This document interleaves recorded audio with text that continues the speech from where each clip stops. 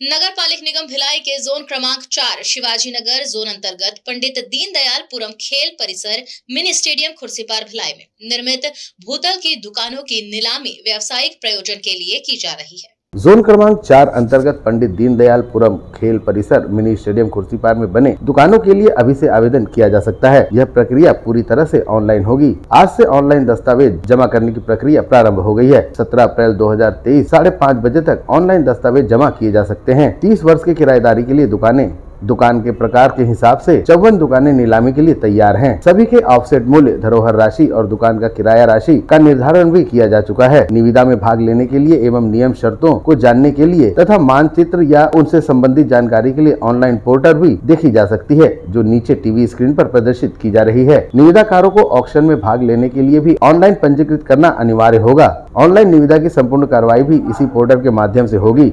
सत्रह अप्रैल को दस्तावेज़ जमा कराने के बाद आगे की प्रक्रिया होगी। 18 अप्रैल से 28 अप्रैल 2023 के मध्य शॉर्ट लिस्टिंग किया जाएगा और लाइव ऑक्शन 8 मई से 26 मई 2023 के मध्य होगी।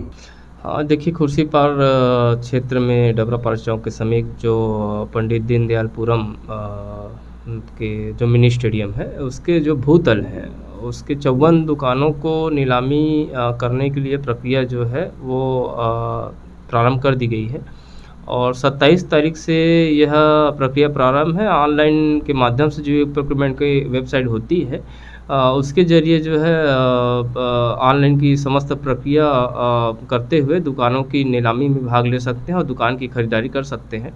इसको लेकर के जो है हमने निविदा भी जारी कर दिया है और सारी चीज़ें जो प्रक्रिया हैं वो ऑनलाइन के माध्यम से होनी है। इसलिए जो दुकानें हैं, जो फ्रंट लोकेशन में दुकानें हैं उनकी नीलामी की जाएगी। ओनली ऑनलाइन का ही माध्यम है इसमें और उस माध्यम से जो है ई ऑप्शन की प्रक्रिया अपनाई जाएगी। ऑप्शन होगा, ऑप्शन के माध्यम से जिनकी बोली रहेगी और जिनकी अधिकतम बोली दुकानों के किराए के लिए होगी, दुकानों की नीलामी के लिए होगी और इन पहलुओं को देखते हुए, जो शार्ट लिस्टेड करते हुए, फिर इस पर कार्रवाई की जाएगी।